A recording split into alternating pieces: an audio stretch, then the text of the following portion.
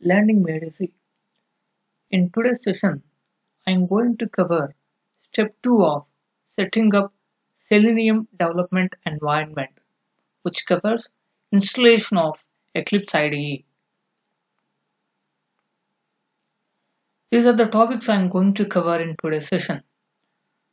That is the step 2 of setting up Selenium development environment. Let me begin with what is an IDE, then followed by installation of IDE, which is Eclipse IDE on Windows operating system. By end of this session, one can get an understanding on installation of Eclipse IDE, which is a open source IDE for Selenium test automation. What is an IDE? Basically, one needs an editor to write, execute, and debug your code in any programming language, which is known as IDE, termed as Integrated Development Environment.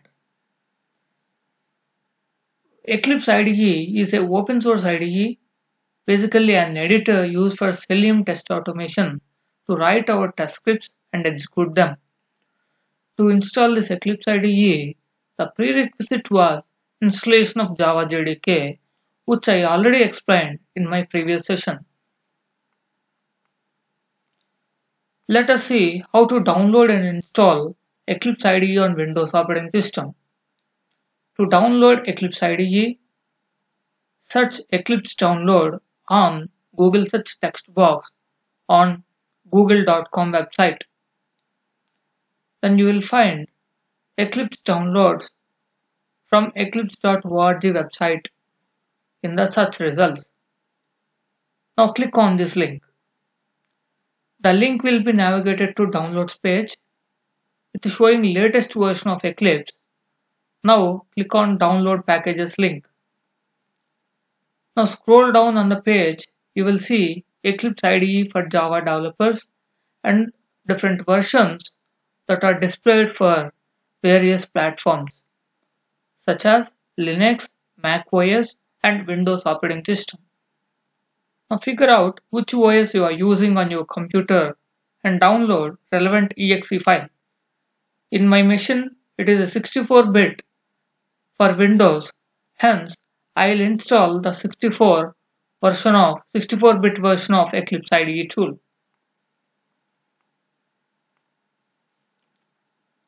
How to configure Eclipse IDE on Windows operating system. After installation of Eclipse IDE on Windows, copy and paste the Eclipse folder onto the C drive. Now unzip the zip file of Eclipse to extract all the files.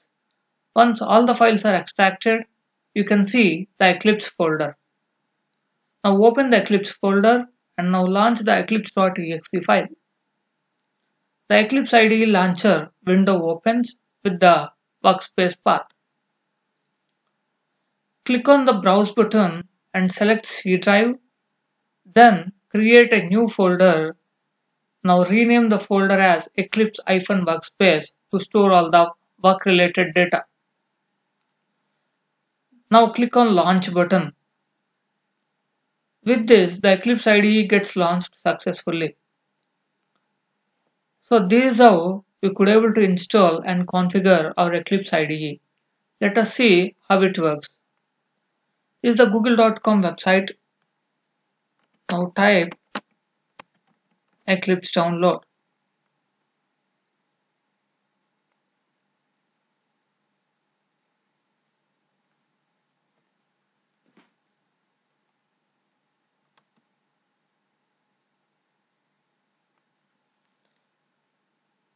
the google.com website, type Eclipse download,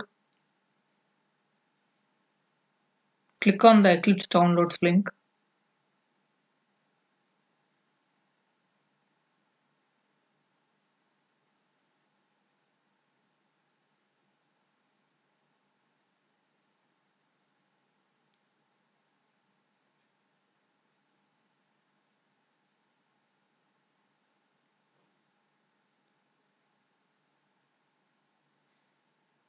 Yeah, it will be navigated to the Eclipse downloads page. Here you can see Eclipse IDE the latest version. By default, the 64-bit version is displayed. To see various other packages, click on download packages link as I just explained. It will be navigated to download packages page.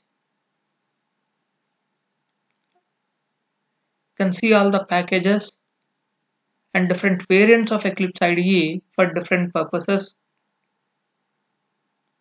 Here, our focus is to install Eclipse IDE for developers. This is the version.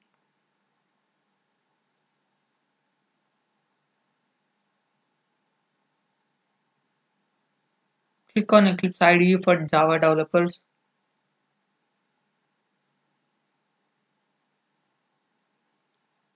Here again you have links for different operating systems. Since we are using 64-bit computer on our machine, we can say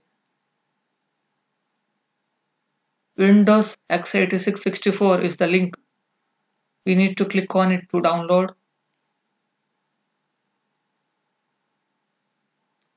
Now click on download. It will be downloaded and now follow the standard installation process for installation. After installation, you can navigate to the C drive. You can navigate to the downloads button.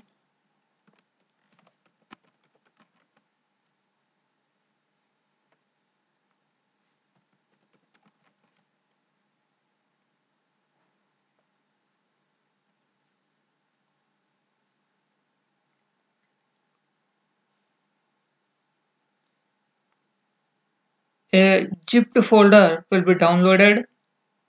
Copy the zipped folder into the C drive and zip the file as I explained in the steps. Now open the Eclipse folder in it in the zipped file. Now click on double click on eclipse.exe to launch the Eclipse, Eclipse IDE version that is installed on your machine.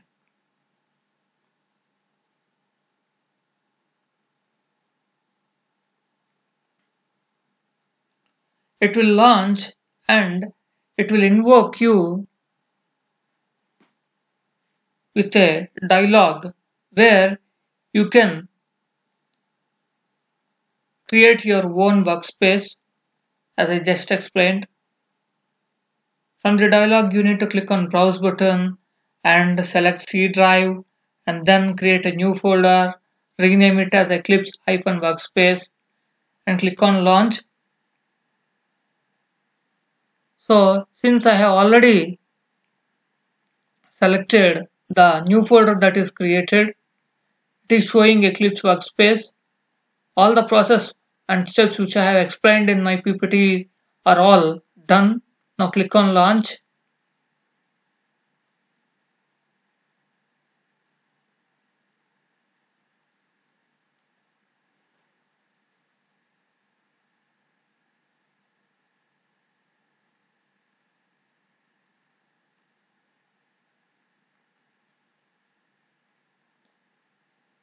Yeah, it is starting Eclipse, Eclipse IDE application.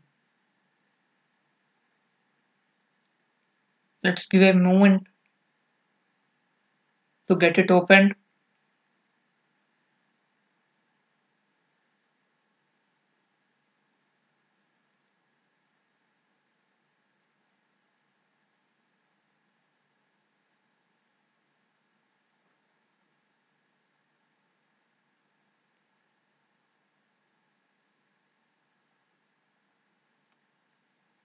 This is how the Eclipse IDE gets launched successfully. And the next step is creating a project in Java project, which I'll cover in the next sessions. That's it for today's session. Happy learning. Thanks for watching my video. Please don't forget to share and subscribe my channel. Have a good day.